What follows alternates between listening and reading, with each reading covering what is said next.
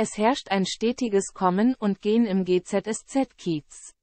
Seit Beginn der Serie haben sich bereits diverse Charaktere verliebt, verlobt, verheiratet, geschieden.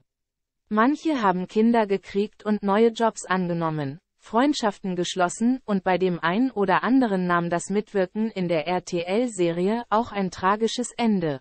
Für Schauspielerin Crescenzi Kawasi spielt in der Serie die Rolle Laura, ist ihr Flugzeugabsturz gerade noch mal gut ausgegangen.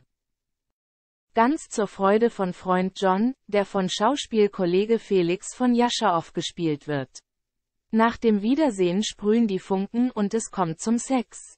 Während sich die GZSZ-Fans über das Glück der beiden freuen dürften, guckt Schauspielerin Crescenzi Kawasi im echten Leben bei diesen Szenen lieber weg. GZSZ-Star Crescenzi Kawasi dreht für RTL Sexszenen. Sexszenen sind alles andere als Alltagsstoff im Daily Soap Kosmos und sicherlich für alle am Set etwas ganz Besonderes. Immerhin muss hier nicht nur glaubhaft gespielt werden, es handelt sich auch um einen ganz intimen Moment, bei dem sich zwei Menschen ganz natürlich näher kommen sollen, und das Umgeben von Kameras. Für die GZSZ-Schauspielerin jedenfalls sind Sexszenen immer wieder eine kleine Herausforderung. Vor der Szene mit Felix von Jaschaow lag ihre letzte Erfahrung dieser Art schon einige Jahre zurück, wie sie jetzt im Serien-Podcast erzählte.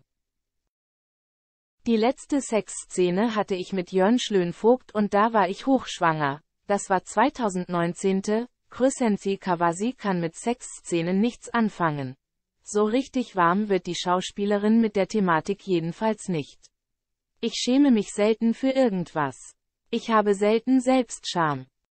Also ich meine als Schauspieler ist das halt auch schwierig, das zu haben. Aber ne Sexszene. Halleluja. Also man will nicht sich selber anschauen, wie man da liegt. Von ihrem Unbehagen lässt sich Chrysanthi, die übrigens mit Musiker und Schauspieler Tom Beck verheiratet ist und einen gemeinsamen Sohn hat, aber nicht aufhalten, wie die Fans der Serie im TV sehen können.